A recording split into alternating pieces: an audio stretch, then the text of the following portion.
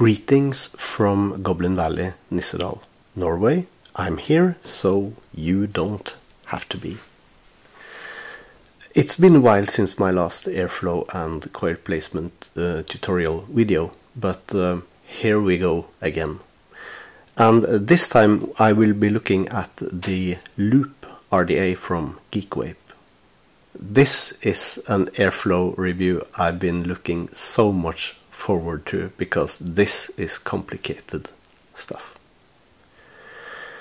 Um, the RDA itself is a squonk ready uh, dual coil uh, dripper and um, uh, it says in the uh, manual it's a side bottom airflow RDA. RDA. So we will look at that. Uh, this video will contain uh, some computer simulations, some really nasty drawings, and uh, some very very cool uh, footage uh, in my air chamber. I've been working with this now for almost two weeks and uh, did several different mock-ups and in the end I ended up by building um, something new for my airflow chamber. I had to, to basically build a mock-up of the whole construction.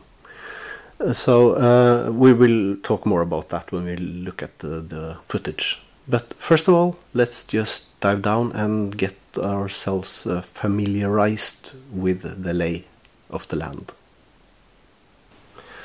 First of all, this is not a review of the RDA itself. If uh, the technical aspects and materials and spare parts, and if, if that's your thing, please look at someone who does that much better than myself. So uh, I will only tell you that that uh, the RDA consists of three parts: the drip tip, the barrel or cap, and the deck. So the cap is uh, standard 810 and uh, let's first look at the um, barrel. Uh, you have a side through through and through um, airflow from both sides and you can choose a single setting if you want to have a coil placed on only one side. Uh, this ring is uh, press fit uh, and adjustable.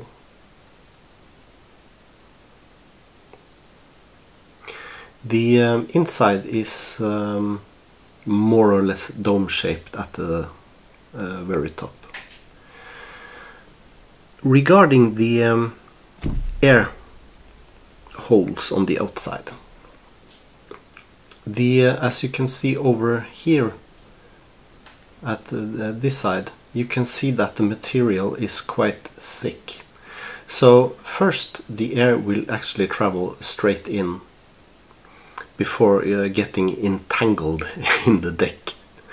So um, this gives uh, the air some direction at first before it uh, starts to get bent and um, uh, controlled further down into the deck. It's it's really an important uh, thing that I chose to to do so, and it has to do with the com compression of, of air. We'll touch on that in a short while. This is the actual build deck, and um, or if you prefer, the confusing part.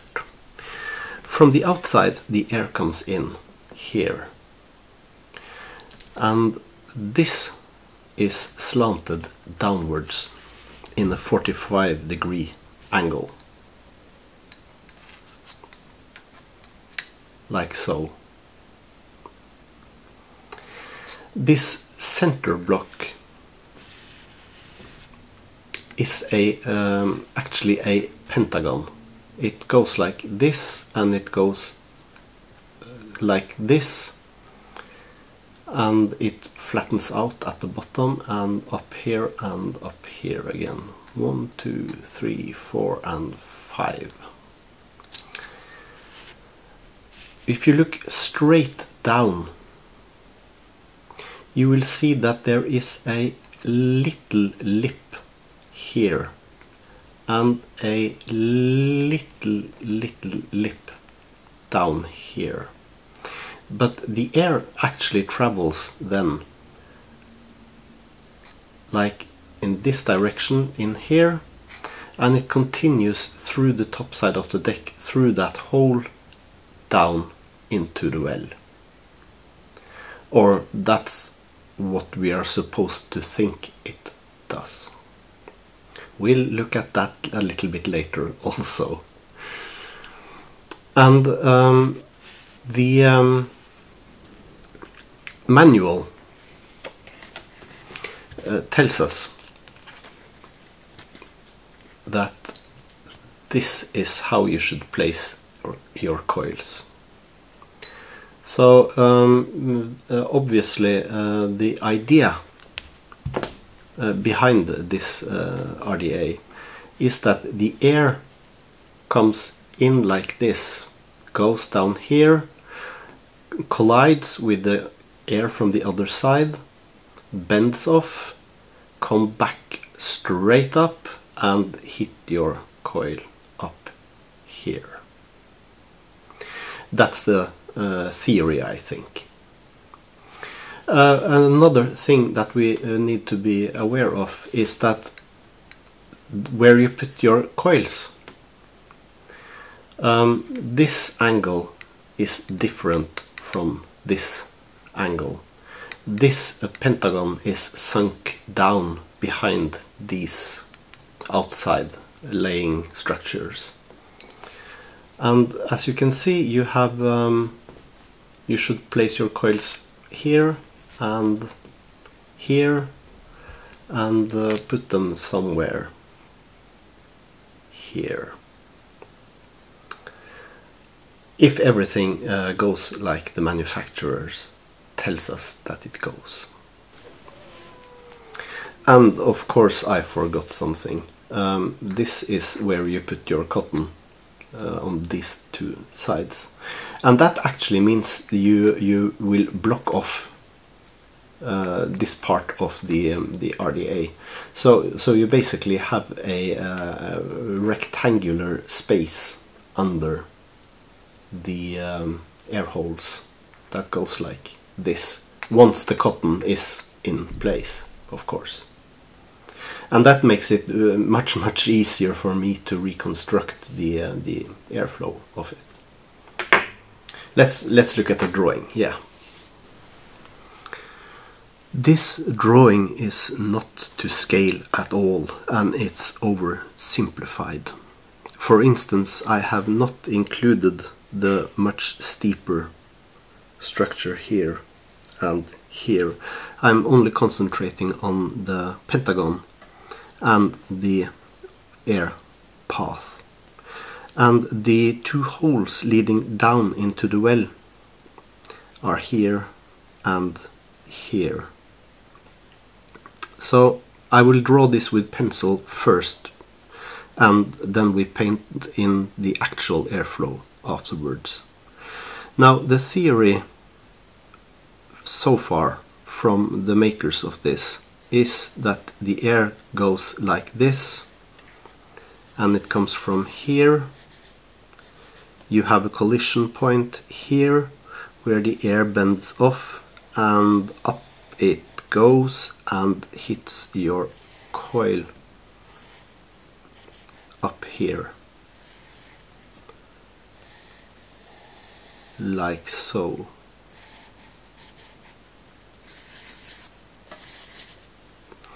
So that's the uh, basic idea behind it and uh, now let's uh, watch some uh, uh, computer simulation I did very early on before I knew about this. And uh, um, yeah, I was just checking out different ways of, of um, looking at the airflow pattern.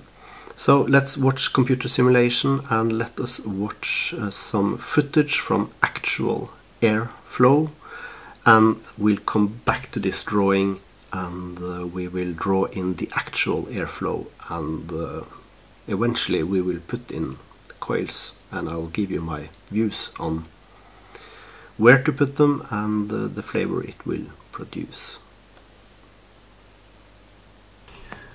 As you can see this is not the representation of the loop it's uh, different. It's something I just played with some weeks ago when I first saw just the superficial images of the loop.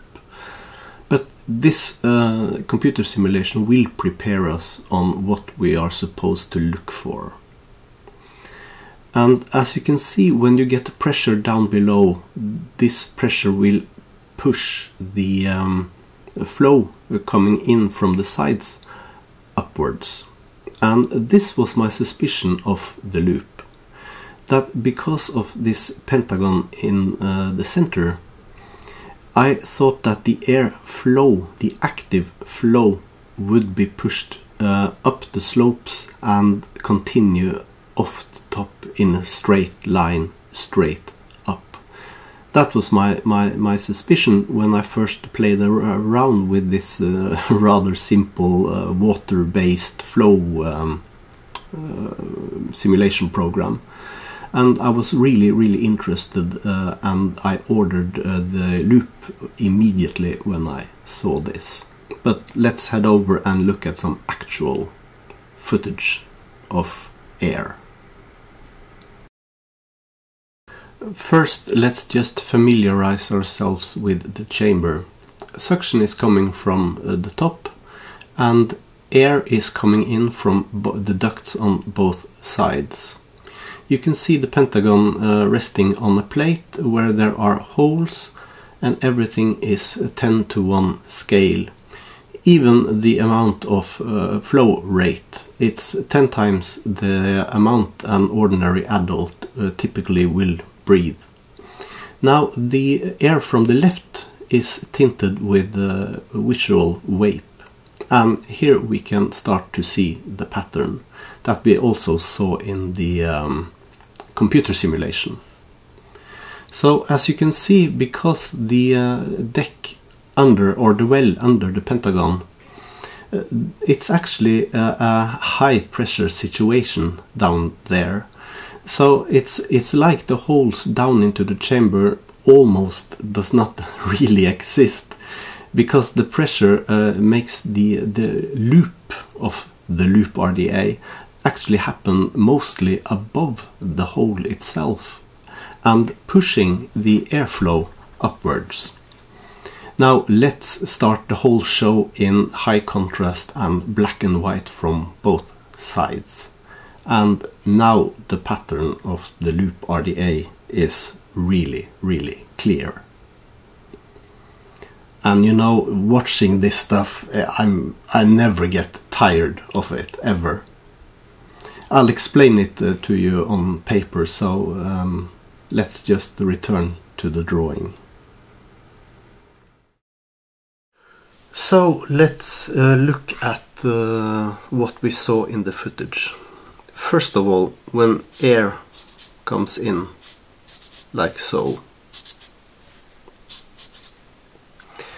uh, the air will be compressed against this angle somewhat.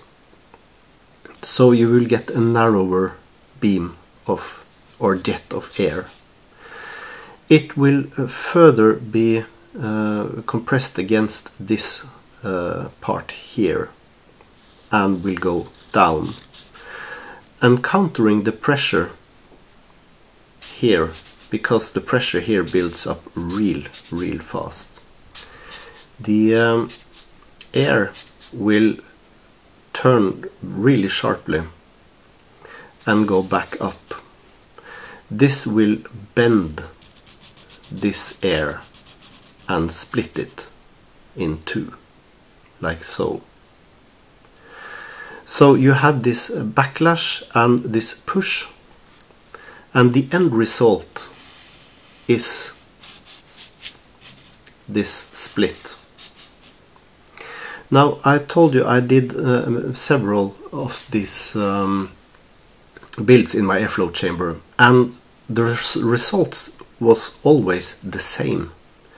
I never succeeded in getting any kind of flow going straight up like this no matter what I built so it's it's uh, it's like other um, um, studies I've I've done you cannot change the air 90 degrees or more to get up and hit your coils.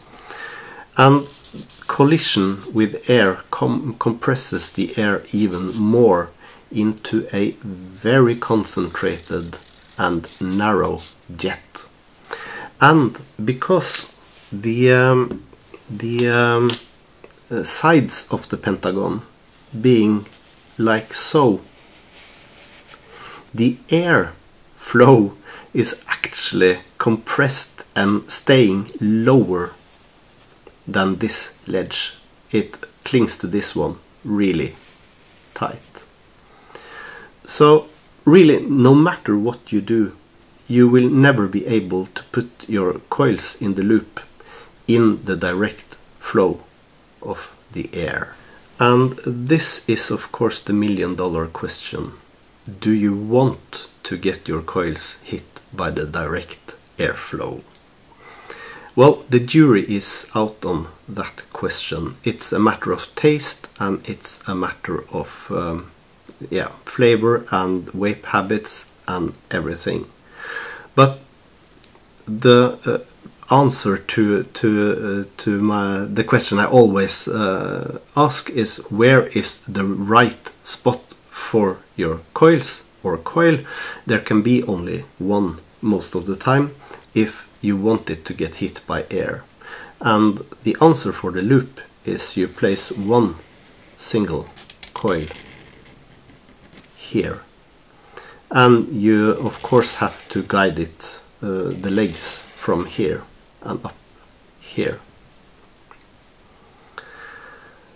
And um, yeah, well, let's go uh, topside and I'll uh, show you some pictures when I uh, talk to you about the, the stuff I've tested out on this.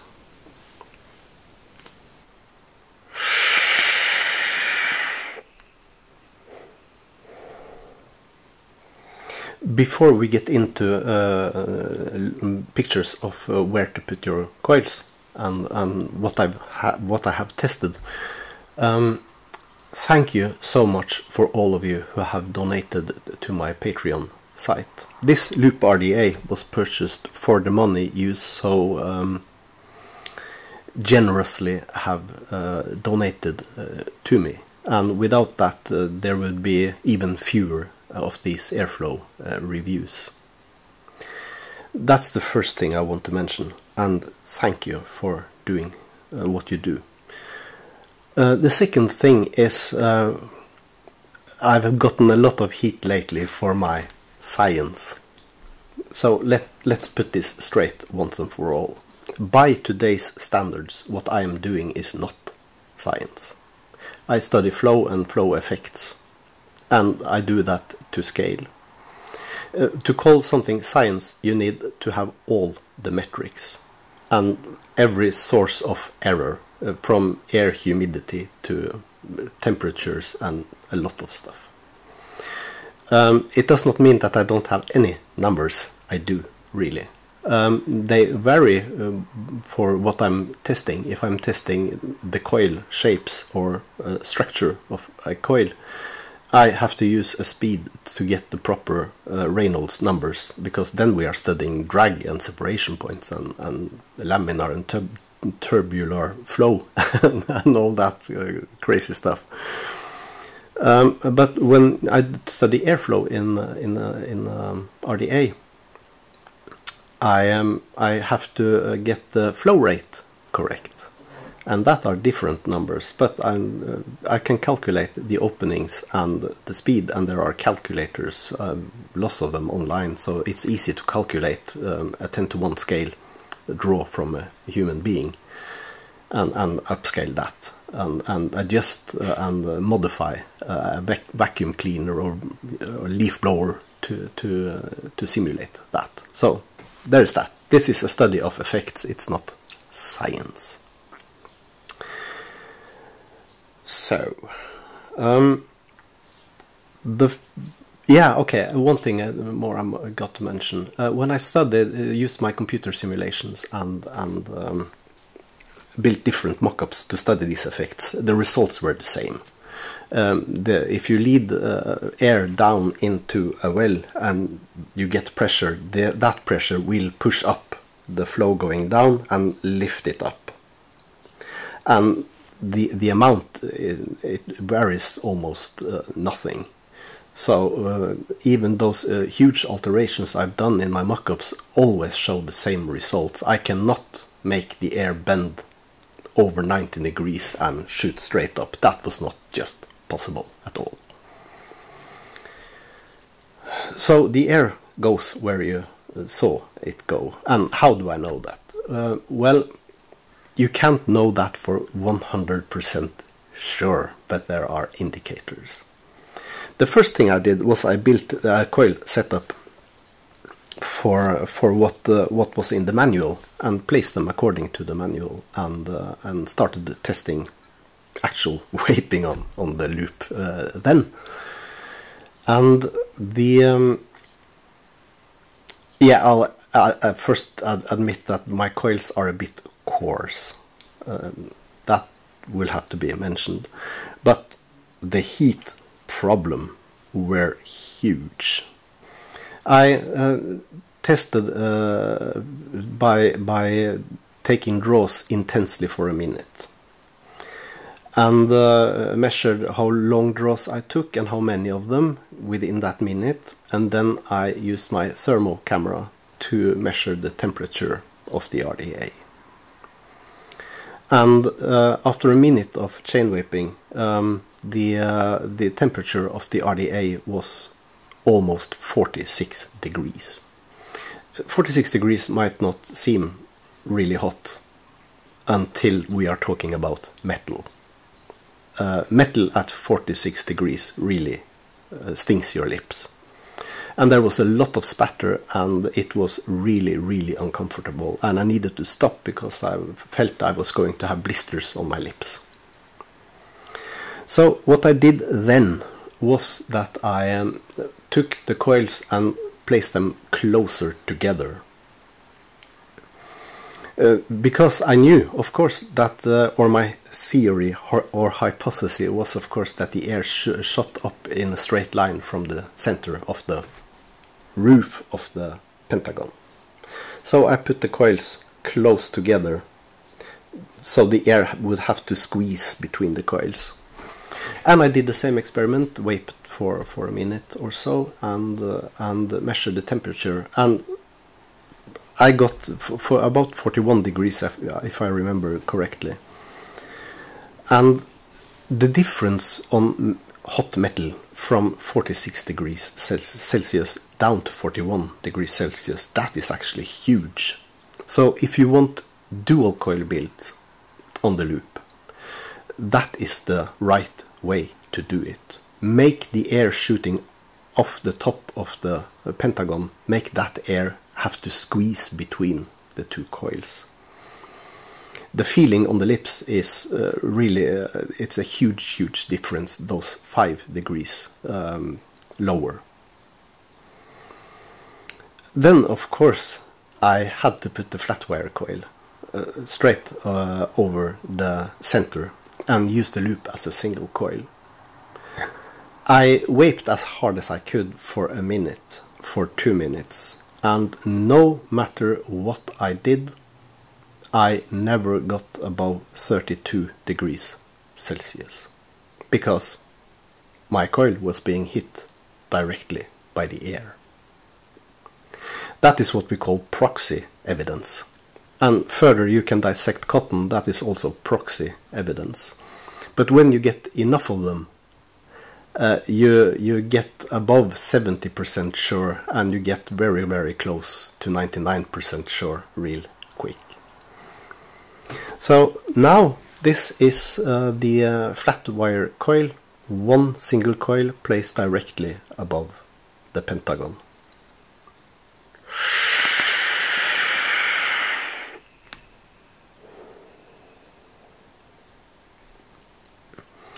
And the wape is smooth, it's lukewarm, and if you want to have a bit more wetness to the wape and a little bit more sugar in the flavor, you of course change the flat wire to a uh, Clapton wire or an alien coil or framed, stapled, Clapton, or whatever. This is how you regulate the flavor. First, you put your coil where it really gets hit by airstream or air jets. Then you figure out what flavor you prefer by doing different coils. So yeah, this was a really long outro. So um, let's just pack it up there and conclude that uh, manufacturers got it wrong again, but they rarely get it so wrong that you can't make it right. And by right, I mean getting your coil in the airflow. You might prefer to put your coils out of the airflow, but that's of course up to you. My task, what I'm doing, is giving you an informed choice so you know where to put them and what you prefer to have.